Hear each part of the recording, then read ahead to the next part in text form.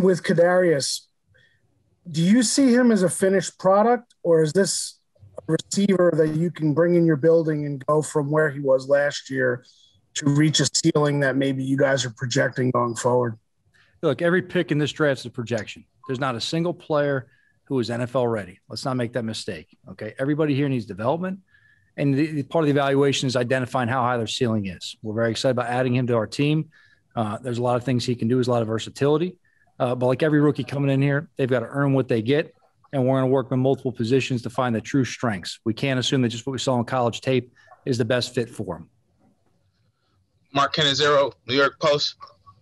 Hey Joe, um, can you speak to maybe the roller coaster of emotions as the as the first round was unfolding? Um, you know, and I know Dave just addressed the fact that you guys, you know, addressed the possibilities, but um, and the fact that it was Philadelphia, who, as you well know, as any as well know as well as anybody, are not very well liked in these parts, uh, that made that trade jump ahead of you. Uh, that dynamic. Can you speak to that? Yeah, just first on the trade. I mean, look, trades happen a lot. Uh, normally doesn't happen within division, but hey, look, the enemy of my enemy is my friend. So, you know, they made a move that worked for them. And was a good business move. You know, that being said, in terms of the roller coaster of emotions, listen, you just let the round play out. You you evaluate all these players for a reason. You never know how it's going to shake out. All right, you know where you want to take certain guys. You know what you're looking to fill in terms of the best player available and some positions of need. Uh, we're very happy with how it turned out. We thought we got great value. Let's not mistake that. You know these picks, they're people. So let's not forget about that. You know, you're adding people to your team. You know, you talk about the value of having good young developmental players to work with and we just went through a season of free agency, okay, where we invested a lot in the team by adding veterans to our team. And this is an opportunity to gain more picks to add good young developmental players to our team, whether it's this year or next. Thanks, Joe. Dan Duggan, The Athletic.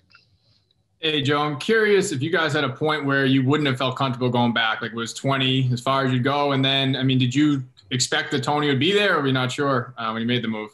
Yeah, you know what, to be honest with you, uh, you evaluate the players. You've got their value to the team. Uh, you can never assume anyone's going to be there. There's a lot of good players in this draft, and there's a lot of play, there's a lot of teams who want those players for one reason or another.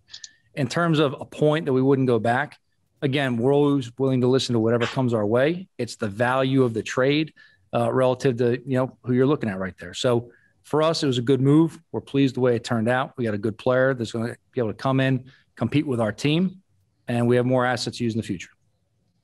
Paul Schwartz, New York Post. Hey, Joe, a couple of quick ones. Um, uh, most people thought that three quarterbacks would go, or four quarterbacks would go before you picked. Obviously, only three did. Did once you saw that happening, did you kind of get a sense? Oh, you know, these two or three guys we thought, you know, one of them would definitely be there was not going to be there. No, we play out every scenario beforehand. As Dave alluded to, we have lengthy meetings, a lot of what ifs. That's the way we operate in terms of you know the coaching staff as well throughout the season. It's our job to talk through the scenarios. So when the situation arises, we have a course of action and a plan that we can go and execute. And also, um, um, Kadarius had some um, injury issues at Florida and also some um, quote unquote character issues, some things that needed to be investigated. Um, you know, you couldn't get him in your building and really, you know, get to know him. Um, how did you figure that out and figure he's a guy it's worth the 20th pick? You know, the skill and the person has to add up together. Uh, we've fully vetted every player on this board. We're very comfortable bringing him to New Jersey. We're very comfortable adding him to our roster to compete with other players on the team. Uh, listen, we use every resource we have. Okay. Jeremy Pruitt, who's in our building, Jeremy recruited him out of high school. So we have people in this building with established relationships who have known this guy through the course of not only being through college, but going back to, you know, when they were in high school developing as a player. We have numerous coaches who you know, along that time of recruiting, I've had this guy in summer camps for, you know, multiple days at a time and had extended exposure to them. We use what's available to us. We had guys at the pro day. We have Zoom meetings uh, that were allotted by the league. We use those phone calls.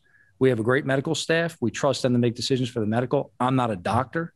Okay. So I trust Ronnie Barnes and his staff. In terms of anything else off the field, again, um, look, it's no secret. I'm pretty particular about who I bring into this building. Okay. I think sometimes you have to understand the person and you have to understand the character or on a deeper level than what just maybe tweeted out. Last question here, Tom Rock Newsday. Joe, we haven't spoken to you in a while. Uh, can you just talk about the overhaul of the offensive playmakers on this team now, going back to the middle of March to tonight? Look, we're just looking to improve our team in all three areas offense, defense, kicking game. And as we work through free agency, there were offensive players that are available we thought could come in here, compete with our team, and possibly improve us through competition. Uh, we're looking to do the same thing with defense and the kicking game as well. All right. We're not a finished product by any means in any area. We're always looking to improve. So if there's a good player out there, we're looking to add them. If they fit, we're looking to build.